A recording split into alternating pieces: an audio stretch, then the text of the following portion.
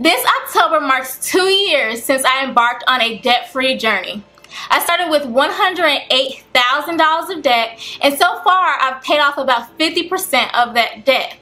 My goal was to be debt-free by February 2021. However, I embarked on some, you know, financial setbacks recently that have put me off track but I still am committed to being debt free. So I'm going to show you how I use every single dollar to reach my goal of being debt free one day.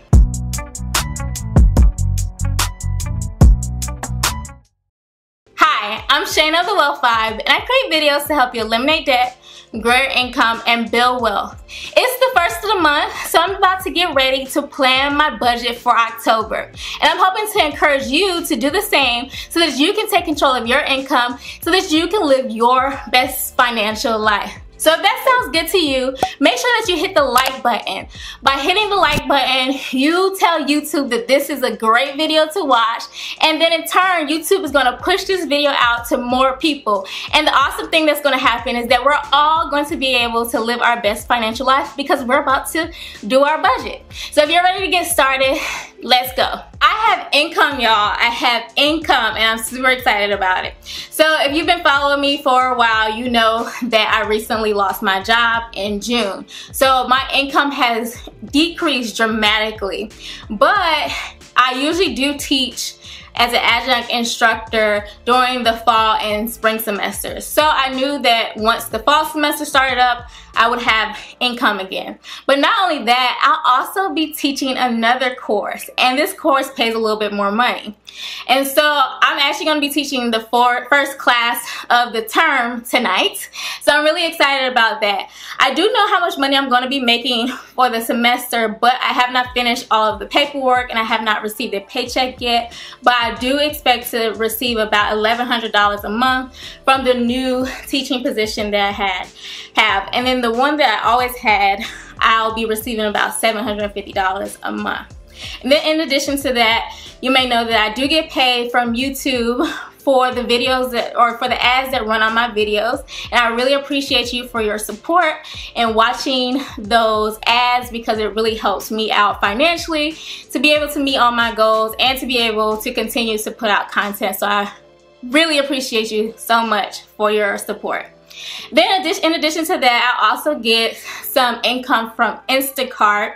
So Instacart is a side hustle that I originally started off doing in October 2017. Really, that's where I started to make a lot of the money that I was able to put towards um, a lot of my debt and since then I've done a few videos about Instacart and then when people use my link to sign up for Instacart I get paid a certain amount of money um, based off of whatever region that they are in after they complete a number of batches. So for this month so far based of, of how it's looking, I should get about 450 to $550. So the baseline amount of income that I should have for October is about $2,125. And I'm really excited about that because it's money that I'm able to bring in. And this is all money that I'm bringing in part-time. So it's really cool. So what I've been doing with my time here recently is that I have been working on this YouTube channel to make sure that I put everything um, on a schedule and I am producing a lot of content, I'm brainstorming. So that way, when I do get another full-time job, everything is working like clockwork and I'm able to sustain the momentum that I was able to basically put in place now. So I'm really happy that I'm able to also spend this time, but also able to bring in a couple thousand dollars part-time. So that's really good. Now let's move on to my expenses. So the first category in my budget is related to giving. So for giving, I usually tithe to my church 10% of my income. Although I'm no longer able to physically go to the church that I went to in Atlanta because I'm now living outside of Atlanta, I am still tied into the church because I live stream and whenever I am in Atlanta, I go to that church. It's my church home. So I tithed 10% there. And then also this month, my brother is turning 30 years old. And so I do want to get him a gift, although I'm sure he would understand if I did not give him a gift because he knows that I don't really have that much money. But I do want to get him something. So I plan to get him a really small gift of about $30. Now let's move on to housing. So as I just mentioned, I no longer live in Atlanta. When my lease was up in August, I decided to move in with my boyfriend temporarily. Well, that's my hope that it will be temporarily, unless we were to get married or something, but temporarily. So I am living with him and as a result of moving, I put a lot of my stuff into storage. So I have a storage unit in Atlanta and I have to pay about $85 a month for that storage unit. And it really holds all my furniture from my one bedroom apartment and everything. And I only really brought the essentials with me here to Columbus, Georgia. So in terms of additional rent, like for where I'm staying, I don't have to pay my boyfriend any rent. He is paying the full rent as he has been doing for the past year or so since he's been living in this apartment. So I don't have to pay any rent, any renter's insurance, or anything else related to housing. So my housing expenses, and it's not really housing, it's more so like storage expenses, are about $85 a month. Now moving on to utilities. So because I do not have my own place and I also do not have to contribute to utilities while living with my boyfriend, I am only paying my phone bill. So if you recall, in August, I went to Mexico for my boyfriend's 30th birthday and while we were in Mexico on the first day, I lost my phone. And so since then, I have been using an old phone that he had. And because I did not have a phone for myself I needed to give him back the phone that I was using temporarily, I did purchase a new phone. So as you may know, the iPhone 11 came out recently and I did get one of those. It killed me to get one. But I thought it would be a good investment because I am trying to do a lot better with my Instagram and it has this new um, new camera on it and I just thought that it might be a good investment that should last me for a long term. This time around I got insurance on my phone because as you know I paid off my iPhone 10s in May paid it off completely but because I lost my phone and I did not have insurance I wasn't able to get a new phone, a new replacement, you know, out of like free. And so I decided that it makes sense for me to get insurance on my phone to protect my investment. So I do plan to ride out with this phone. I'm going to pay it off and I am going to have insurance on it so that if it ever gets damaged or lost or anything, I can just pay the insurance fee to get a replacement. So in terms of food, this is another area where I do not have to spend any money because my boyfriend has been so gracious enough to cover food expenses. But one thing that I don't want to do is ask him for money. So typically what happens is we go grocery shopping together or he'll say, babe, can you pick up XYZ amount of things from the grocery store and I'll do like a weekly grocery shopping or you know for a few days and I'll do that and he'll give me money for that or he'll reimburse me and that is fine but in the sense of me going to go grab something to eat or pick up you know, something from the store that I personally want, like let's say if I wanted some more fruits or something, I don't want to ask him for $5 to buy some grapes. I want to be able to do that on my own. So I am putting aside some money in my budget for food and this can cover restaurants or whatever as well but I'm putting aside $100 in my budget to be able to feed myself without having to go to my boyfriend and be like hey can I get some money because that is not that's not what I want. Now when it comes to transportation, I do have some expenses there. Now typically I do spend about $140 on gas, but since I've moved here, my fuel costs have gone down dramatically for a number of reasons. So one reason is because I have not really been doing my delivery jobs since I've moved here. And partly because I don't want to have to ask Grubhub to transfer my market to Columbus and then have to go back to Atlanta. And recently I thought I was gonna get a job. Like I thought for sure, like I was, they checked my references and everything for this job. So I like asked for transcripts, all like the whole nine. So I thought I was gonna get this job.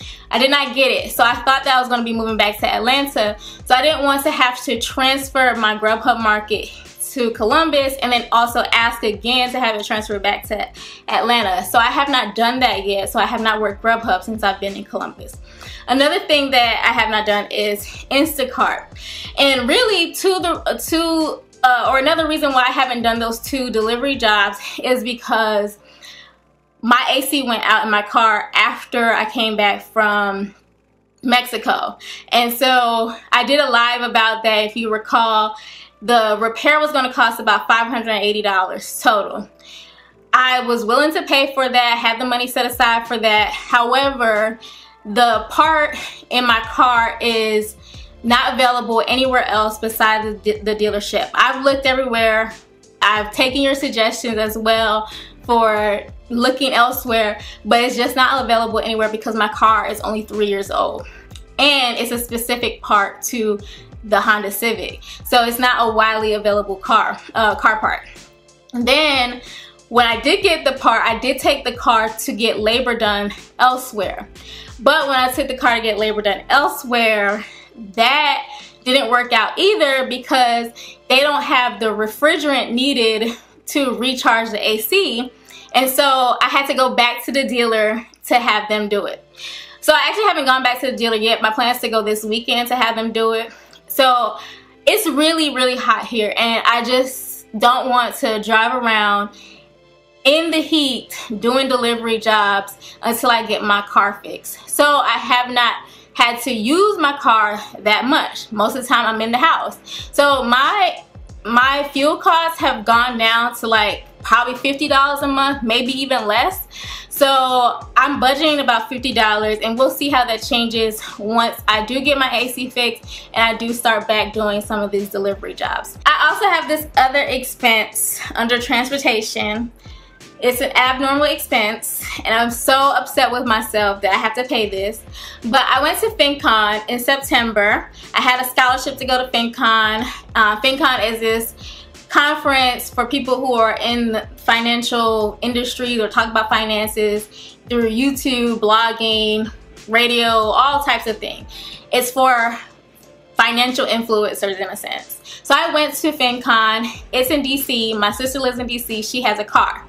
I took her car to go meet up with a friend from undergrad. I met up with this friend and then on the way back, I got a speeding ticket. If you know DC, you know that DC's speeding limits are about 25 miles per hour everywhere.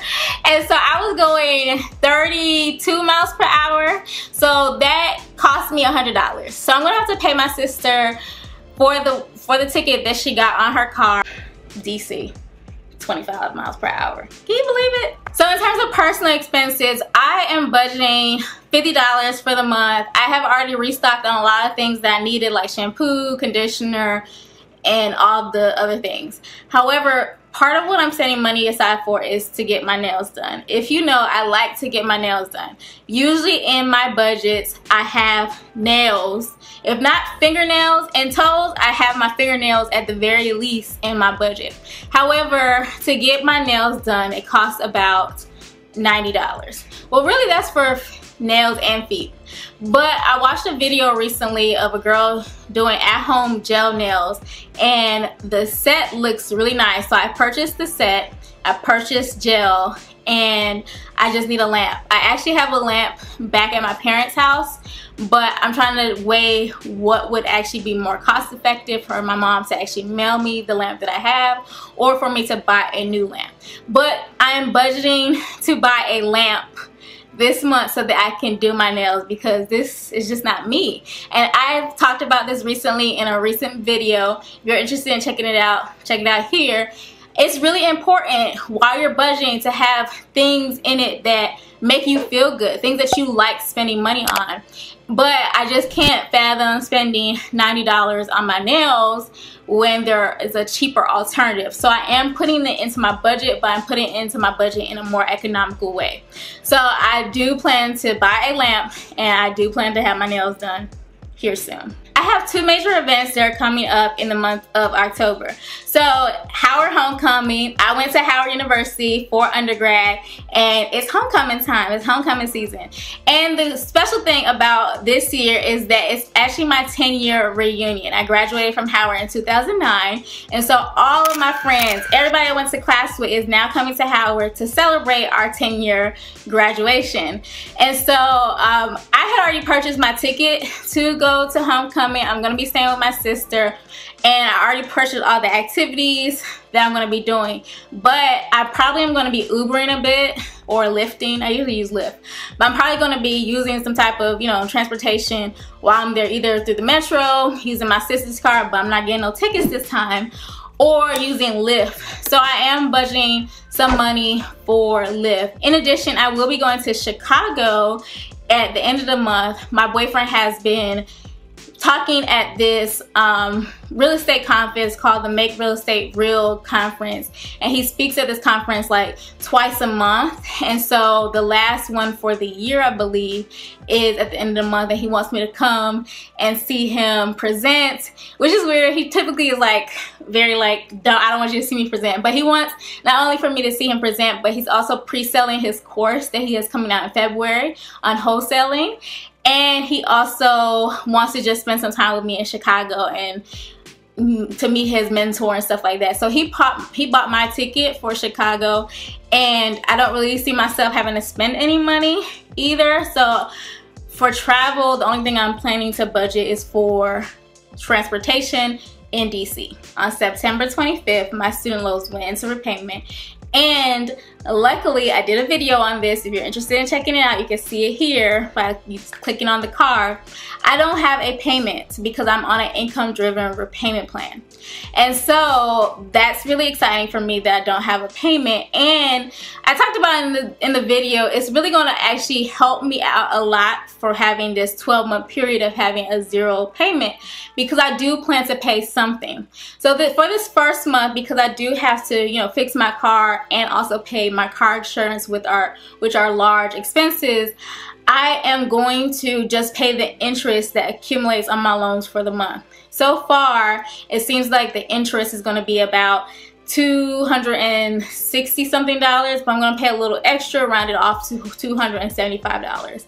And that is my plan to pay at least the interest every single month until I can now pay hopefully about a thousand dollars a month maybe in the next month or two is my goal to knock it up to a thousand dollars a month and so yeah I have I have a debt that I'm paying and I'm back on the debt payoff journey and I'm excited about it. I guess I'm bittersweet about it because like who wants to pay, you know, debt? But at the end of the day, like I know that I'm going to be closer to my goal of being debt free by paying down my debt. So I am happy about that. If you've been encouraged to do your own budget, I'm really excited for you because you're gonna have some major wins in your financial life. And to get you started, I want you to check out this video right here. It's going to give you my best tips for how to budget with confidence so that you have minimal stress through the process. And if you wanna have my budgeting tools, you can check out the link down below so that you can shop my budgeting tools. Thanks for watching.